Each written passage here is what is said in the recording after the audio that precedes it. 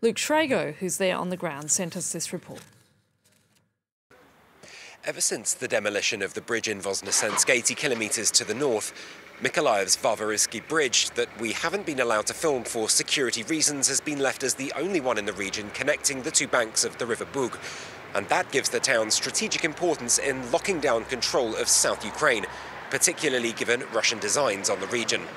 A military spokesperson here told us more a little earlier. The main role of Mykolaiv is to halt the spread of Russian expansion towards Europe.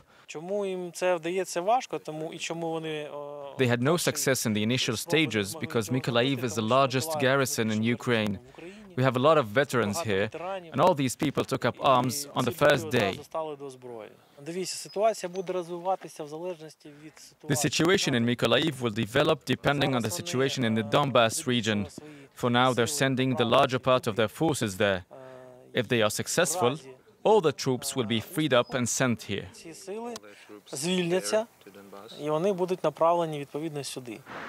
For now, the city is waiting to see what the future will bring.